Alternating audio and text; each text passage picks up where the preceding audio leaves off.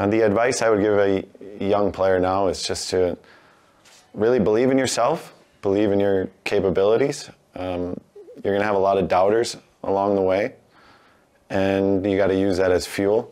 It's got to fuel the fire. Um, I feel like proving people wrong. Uh, there's a satisfaction there, and it, you, you fight yourself sometimes in the gym, and and you're fighting yourself when you're on your conditioning rides and your intervals, and you just hear that voice that tells you to stop. But those those naysayers are the ones that kind of push you through, and, and it fuels you, and and then just perform, work on your game. Never uh, never be satisfied. What you did last last year, what you did yesterday is is forgotten, and you gotta you gotta clean the slate and, and move on and and just show up again because no one cares what you did last year. If you start playing poorly, it's uh, hockey's a special thing where you gotta you gotta show up every night and stay consistent and and be a team guy and accept your role and and find your way. Yeah.